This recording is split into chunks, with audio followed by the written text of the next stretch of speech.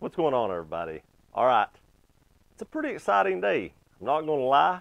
We got a little bit of a teaser about the Toyota Tundra. I know you all probably seen this video. I'm a little late getting this video up because I work during the day and I did get an email earlier or DM earlier from a subscriber uh, showing me the, the teaser trailer and, and stuff like that.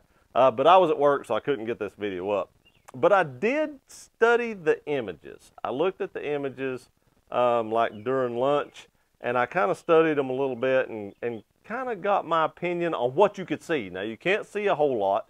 There's there's not a ton you can see. I'll, I'll put pictures in here. Not going to roll the whole thing because it's very short. It's kind of anticlimactic a little bit to tell you the truth about it because they just kind of showed you the front end with the lights. But I'm going to give you my two cents on what could possibly be happening. So, first of all, they, they roll in this front end of this new Toyota Tundra, and I guess the biggest thing is all the rumors are true. There is a new Toyota Tundra coming out. So that's the good side. All, all there is has been rumors so far. Toyota has finally confirmed that yes, there is a Toyota Tundra coming out. So, uh, what do we know about it? Nothing other than what it looks like in the dark with the headlights on. But here's what I kind of got out of the silhouette of it. The hood kind of has some raised sides to it. It kind of reminds me a little bit of like the front end of the Chevy Silverado HD. The hood on that kind of looks like it's raised up a little bit on the sides, and that kind of reminds me, like I said, of that HD truck. Um, I like the hood on that truck. I don't dislike that hood. The truck, the Tundra from the silhouette looks pretty beefy. And I'm glad they stayed with that. I'm glad they didn't make a smaller truck or something that looked a little rinky dink. And from the silhouette, it looks like it's going to be a beefy truck, just like the uh, previous year models have been. You know, they're, they're big trucks, they're not small trucks. And when I go buy a full size truck, I, I want to feel like I'm in a full size truck. I want people to know I'm in a full size truck. And this truck still looks like it's a full-size truck. Now, one thing I did notice about the headlights, and we've kind of seen headlight teasers before, but um, one thing I did notice about the headlights is, to me, they kind of reminded me of like an F-250. It's almost like they took some of the good things about the Chevy HD and the Ford F-250, combined them and who knows what the rest of the truck's going to look like. But from the from the headlights, except on the you know the 250, they kind of square off completely, where these kind of stop at the bottom. But it kind of gives me thoughts that you know there's a hint of that in it. And like I said, that's not a bad thing. I do like the way that's designed. Now they do have the three amber lights in the grill, just like I used to have in my Tundra. If you remember a while back, um, I had Yoda LEDs, I think is what it was, in there, one of the bulbs fell off, and I wound up taking those out. And those things are hard to, to find in stock, so I've never replaced them. But I did put the three ambers in mine because I thought that looked good. So, of course, I am a huge fan of the three amber uh, bulbs in that grill. I'm kind of glad they did that. But, but, here is the kicker. Here's the kicker. They have to do that if the truck is so wide. So hear me out here. Hear me out.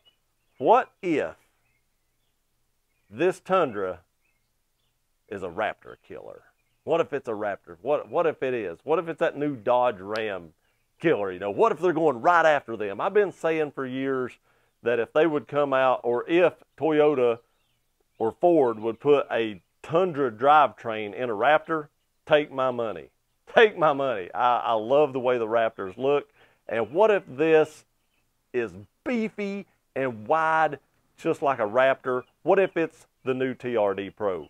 What if the new TRD Pro is the TRD Pro we all want and wanted for so many years? What if it's something directly going after the Raptor, which would make sense on why they have those amber lights in there. Because like I said, if a, if a truck is so wide, you're required by law to have those lights in there. So what if it's a wide body like a Raptor TRD Pro. And what if they threw a V8 twin turbo in it? How awesome would that be? Now, not saying the six cylinder twin turbo wouldn't be strong enough, you know, to compete with the Raptor. But what if they, oh, what if they just took it that much further?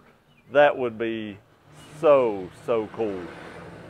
Uh, I don't know if they will or not, but that would be pretty sweet.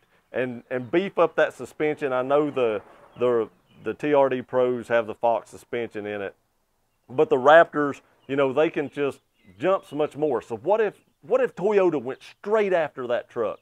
What if they said, Ford, take this, and they just went straight after it? I mean, oh my, like I said, take take my money, take my money. It's hard telling what that truck would cost, but oh man, that would just be that would just be amazing. Now, you know, the light bar underneath the grill. The grill kind of reminds me of something like a TRD Pro as well, which kind of made me bring it up along with the ambers and the wide body. But um, the light bar underneath it is pretty awesome. And I'm going to tell you why that's awesome, especially where they placed it. They placed it underneath the headlights. And I think some states can actually run LED light bars if they're above the headlights. But in my state, you cannot run an LED light bar if it's above the headlights, which is why I've never put one in the bulge of the hood of my truck. You know, you can buy those ones from Headlight Revolutions that go in the hood bulge, but I can't run those on the road. I have to run those only off-road. And with a 50 some thousand dollar truck, my truck's still worth like 44, 45,000 dollars. So I'm not going to go beat that thing all to pieces off-road um, around here, there's a bunch of limbs and stuff, and you go off road, you're going to scratch anything you take off road. You scratch all to pieces. I mean, it you scratch it all to pieces. So I never just never did put one of those in. But where they placed this one, I could run that on the road. Not saying I would, because you'd probably blind everybody, but you could technically run that on the road here and be legal to do so. Now, the LEDs at the bottom for the fog lights, I like that. I like the little strips. I think that's something a little bit different. Um, I think it kind of sets it apart from some of the other vehicles that just run the round fog lights like mine have, um, and a lot of other vehicles have. And I like that uniqueness.